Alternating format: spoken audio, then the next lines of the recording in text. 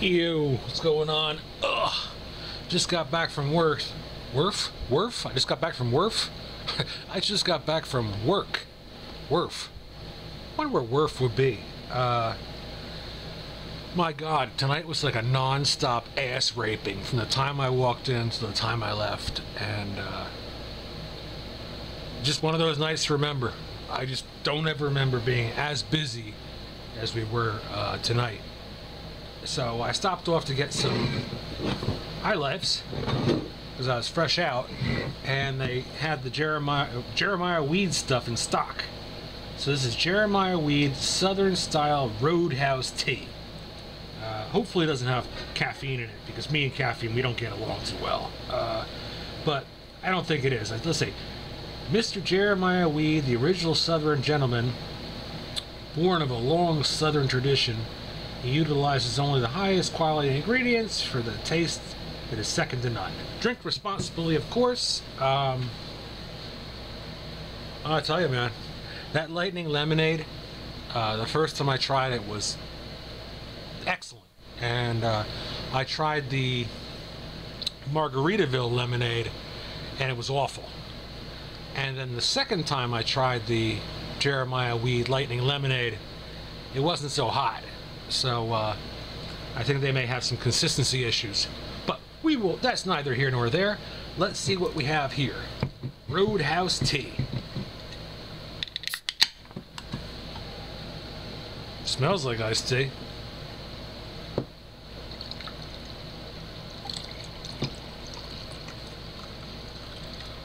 Looks like apple juice.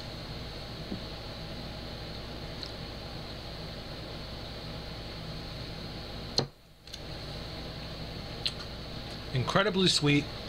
Um, not something I would drink. Uh, gonna put some rocks in here. Let's see if we put some rocks in here if it'll change the taste because it's a little too sweet for me.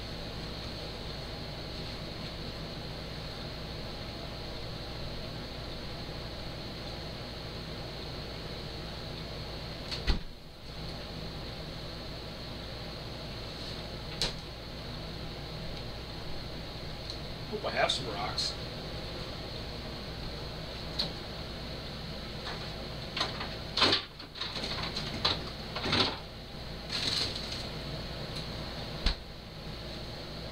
Well,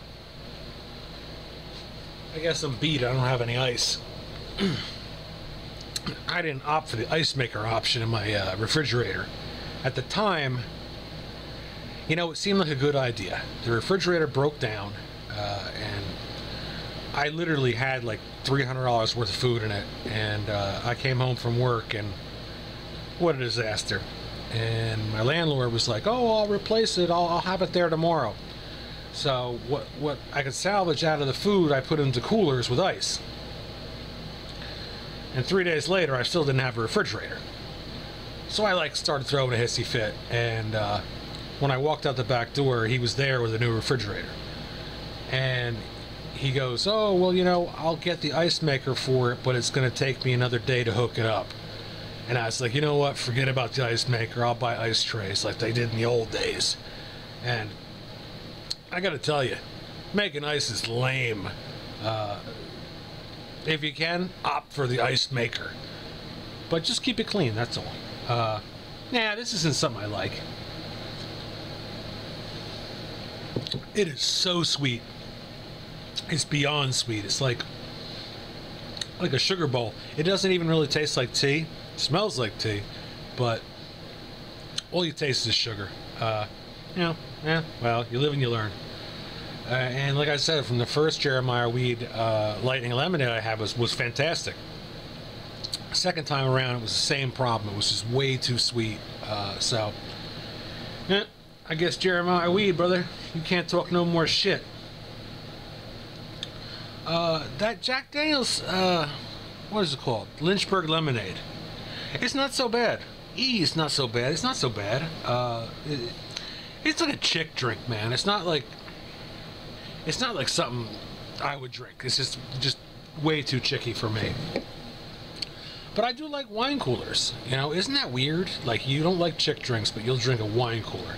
I mean, I won't drink one out in public, like hanging out with the boys, like, hey man, what do you have? I'll have a shot of Jack Daniels. How about you? Three fingers of Johnnie Walker. You, over there? Give me a kamikaze. How about you, Kev? I'll have a wine cooler or a wine spritzer.